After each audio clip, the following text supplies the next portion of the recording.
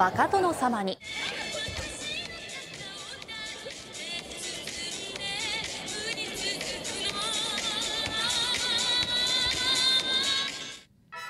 キレッキレなウッディたち。高知市の高知中央高校では異文化に興味を持ってもらうため毎年ハロウィン行事が行われていて今年で10年目です。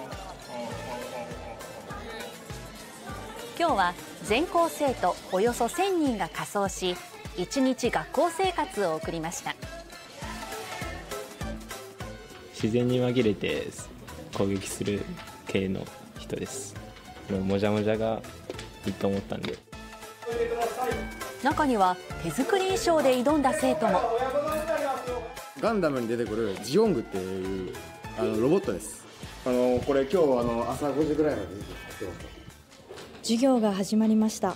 仮装した生徒たちは静かにそして真面目に鉛筆を動かしています。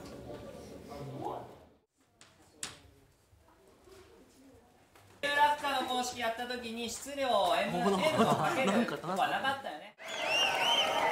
この日最後の授業は全校生徒によるファッションショーです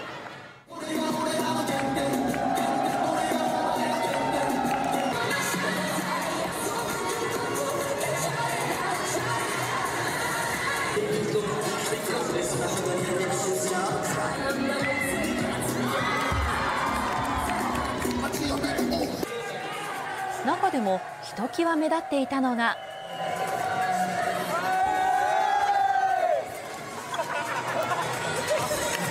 過去最強に素晴らしい出来だと思います。もう一人一人気合が入ってます。今年最後でちょっと寂しいんですけど、もう最後はもう思いっきりやろうということでガチでやりました。